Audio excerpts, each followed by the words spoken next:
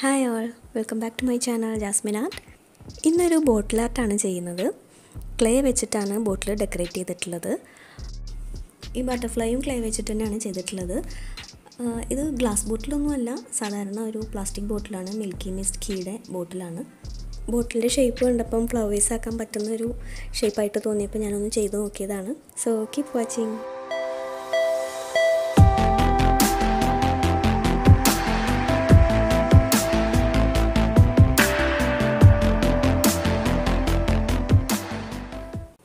ഇതാണ് bottle glass ബോട്ടിലല്ല plastic ബോട്ടിലാണ്.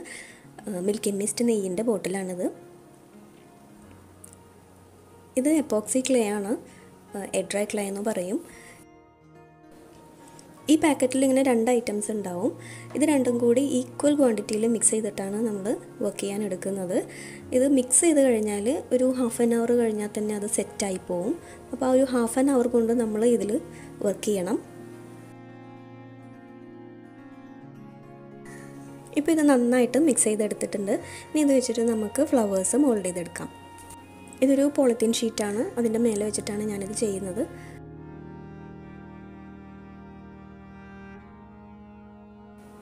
അതിതൊന്ന് പരത്തിയെടുക്കാം. നമ്മൾ ചപ്പാത്തിക്കൊക്കെ പരത്തുന്ന പോലെ പരത്തിയെടുക്കാം. എന്നിട്ട് ഇതാണ് അതിന്റെ മോൾഡ് ഇത് വെച്ച് ജസ്റ്റ് ഒന്ന് ഇങ്ങനെ വെച്ച് കട്ട് ചെയ്തെടുക്കാം. നന്നായിട്ട് പ്രസ് ചെയ്തിട്ട്. അതിന്റെ ഷേപ്പ് വരാൻ വേണ്ടിയിട്ട് അതൊന്ന് പ്രസ് ചെയ്ത് കൊടുക്കണം. എക്സസ് ഭാഗങ്ങൾ നമുക്ക് റിമൂവ് ചെയ്യാം.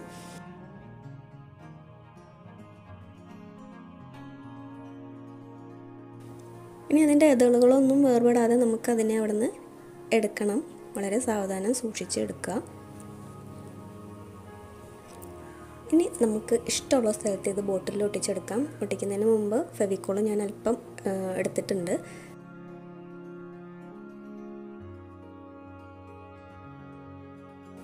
നമുക്കത് ബോട്ടിലിൽ വെച്ചിട്ട് അതിന്റെ അരികളൊക്കെ ഒന്ന് ഷേപ്പ് ചെയ്ത് കൊടുക്കാം.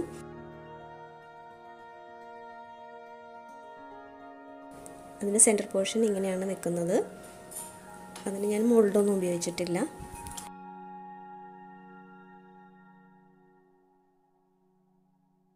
സെന്ററിൽ ആ പൂവിന്റെ ഡിസൈൻ കിട്ടാൻ വേണ്ടിയിട്ട് ജസ്റ്റ് ഇങ്ങനെ പ്രിക്ക് ചെയ്ത് കൊടുക്കുക.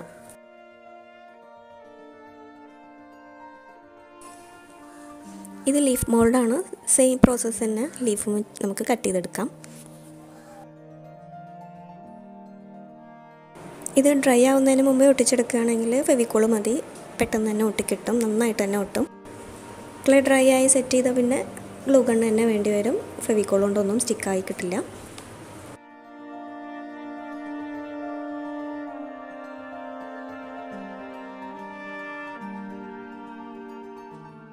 ഇത് ബട്ടർഫ്ലൈ മോൾഡാണ് ഇതിന്റെ ആ ഡിസൈൻസൊക്കെ കിട്ടണമെന്നുണ്ടെങ്കിൽ ആ മേലത്തെ ആ ബട്ടൺ ഒന്ന് പ്രസ് ചെയ്ത് കൊടുക്കുകയാണ് വേണ്ടത്. അതതിന് പ്ലെയിൻ ആയിട്ടാണ് വേണ്ടതെങ്കിൽ അത് പ്രസ് ചെയ്യാതിരുന്നാൽ മതി. അപ്പോൾ ആ ഷേപ്പ് മാത്രം കിട്ടും.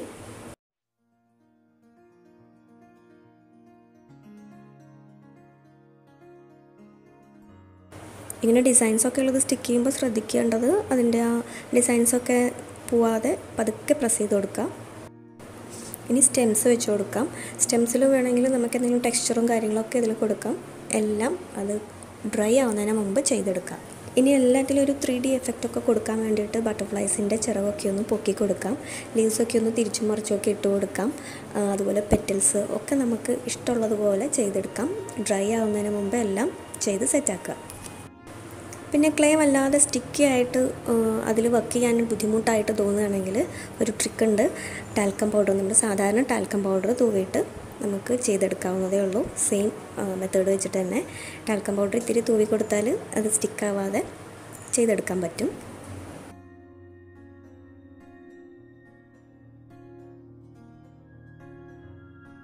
പിന്നെ ടാൽക്കം പൗഡർ ഇടുമ്പോഴുള്ളൊരു പ്രശ്നം അത് എന്റെ സ്റ്റിക്കിനെസ് പറ്റി അങ്ങ് പോയി പോകരുത്. അതിന് മാത്രം ടാൽക്കം പൗഡർ ഇട്ട് കൊടുക്കരുത്. ഇനി പൗഡർ അധികം കൂടിപ്പോയി സ്റ്റിക്കിനെസ് പറ്റ പോയി പോയിട്ടുണ്ടെങ്കിൽ കുറച്ചധികം ഫെവിക്കോൾ യൂസ് ചെയ്തിട്ട് സ്റ്റിക്ക് ചെയ്തെടുക്കാം.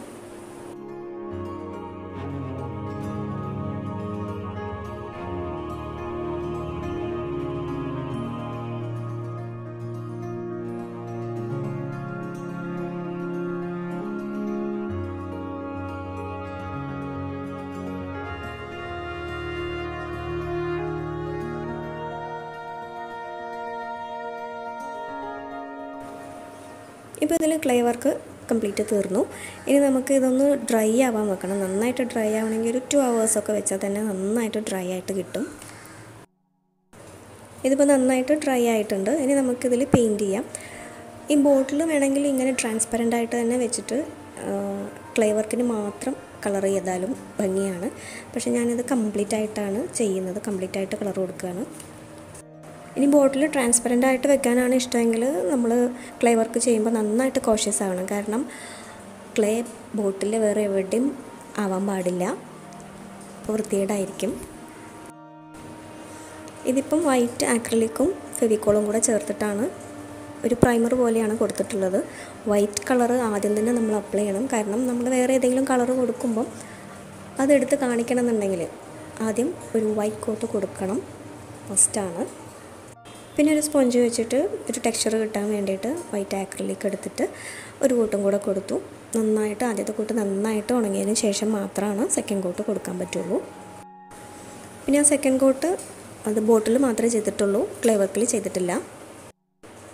പിന്നെ അതും ഡ്രൈ ആയതിനു ശേഷം പേൾ വൈറ്റ് ആണ് കൊടുക്കുന്നത്. ഇത് നല്ലൊരു ഷൈനിങ് കൊടുക്കും നമ്മുടെ ബോട്ടിലിന്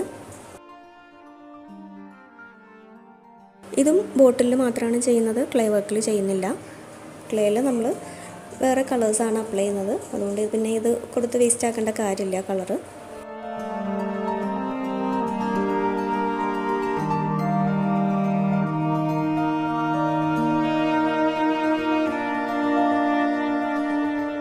ഇപ്പോൾ ആ പേൾ അപ്ലൈ ചെയ്തതും നന്നായിട്ട് ഉണങ്ങിയിട്ടുണ്ട്. ഇനി നമുക്ക് ക്ലേ വർക്കിന് കളർ ചെയ്യാം.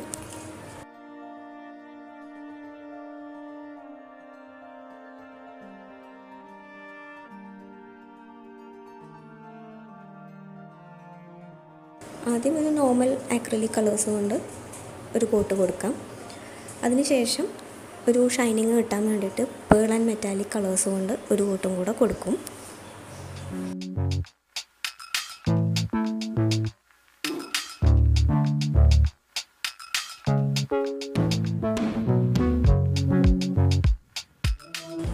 പെറ്റൽസിന്റെ ഇന്നറിൽ കുറച്ചൊരു ഡാർക്ക് കളർ കൊടുക്കാം. എന്നാലേ ആ പെറ്റൽസിനൊരു ഭംഗി ഉണ്ടാവുള്ളൂ.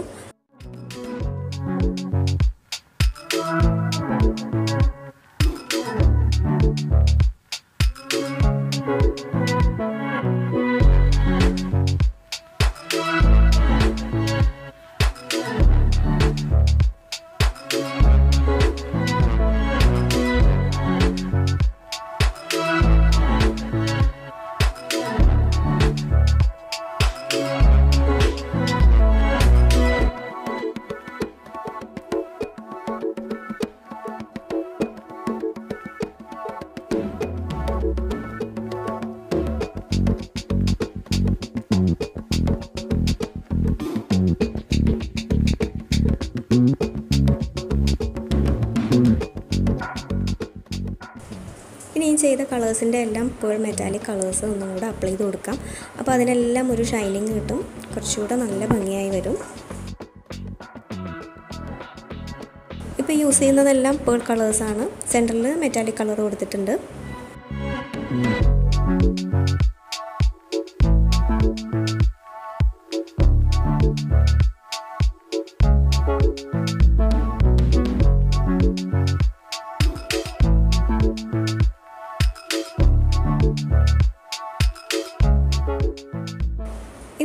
ടോപ്പിൽ ഫെവിക്കോൾ അപ്ലൈ ചെയ്തിട്ട് കുറച്ച് ഗ്ലിറ്ററാണ് ഞാൻ അപ്ലൈ ചെയ്യുന്നത്.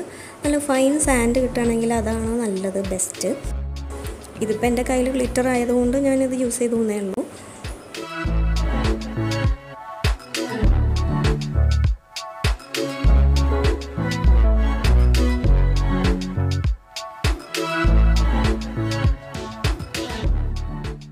അതിന്റെ ഗ്ലിറ്ററിങ് അല്പം ഒന്ന് കുറയ്ക്കാൻ വേണ്ടിയിട്ട് ഞാനതിലൊരു പേൾ മെറ്റാലിക് രണ്ട് കളേഴ്സും കൂടെ മിക്സ് ചെയ്തിട്ട് ഒന്ന് ടച്ച് ചെയ്ത് കൊടുക്കുകയാണ്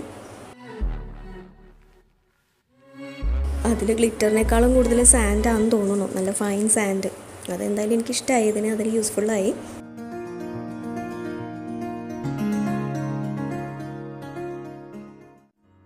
അപ്പോൾ നമ്മുടെ ബോട്ടിൽ ആർട്ട് കംപ്ലീറ്റ് ആയിട്ടുണ്ട്. എല്ലാവർക്കും ഇഷ്ടമായി എന്ന് കരുതണം ഇപ്പോൾ കുട്ടികൾക്കൊക്കെ വെക്കേഷൻ ആണല്ലോ. അപ്പോൾ ഇതുപോലെ ക്ലേ ഒക്കെ വാങ്ങിക്കൊടുക്കുവാണെങ്കിൽ അവർക്ക് അവരുടെ ഫ്രീ ടൈം വളരെ ക്രിയേറ്റീവായിട്ട് യൂസ് ചെയ്യാനായിട്ട് സാധിക്കും.